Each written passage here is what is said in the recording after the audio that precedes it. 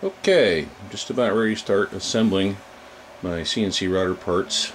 Uh, 4848 uh, CNC router. Uh, right now I have all the electronics set up, checking everything out, make sure it works. Uh, we have the, not sure how to pronounce the name, Huanyang inverter and a 2.2 kilowatts liquid cold spindle.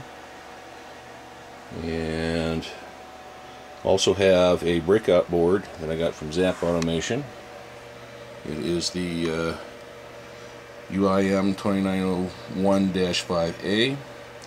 Uh, the nice thing about the board is it gives you two axes outputs for the X uh, for a gantry machine with a dip switch or excuse me a jumper that allows you to reverse the uh, polarity directions or pulse directions so that they run opposite of each other or in line with each other.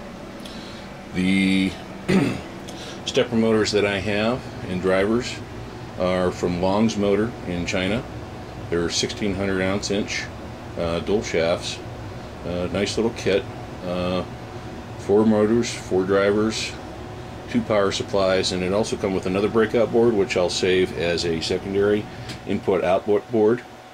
And I have the uh, Mach 3 setup and currently uh, it is also set up to output to the VFD so that it can control the spindle speed.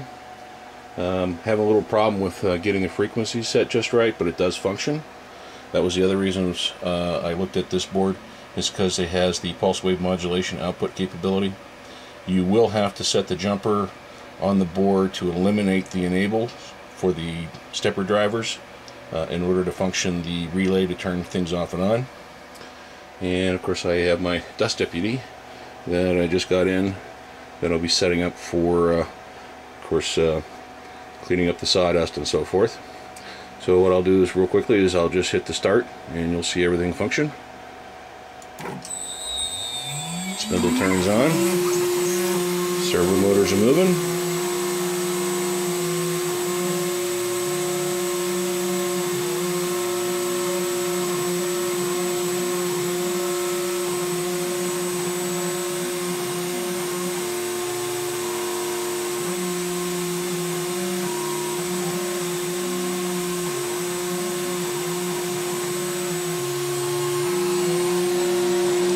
Running the program in Mach 3, that little roadrunner that comes with it, just to test everything out.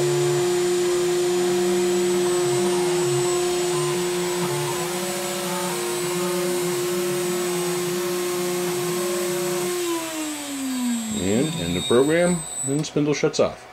So, from a functionality standpoint, just a little tweaking yet to go. Of course, I'll have to do some calibration once I get everything bolted on the machine and start it up. But so far, everything looks pretty good. Next step will be starting the assembly of the base of the machine.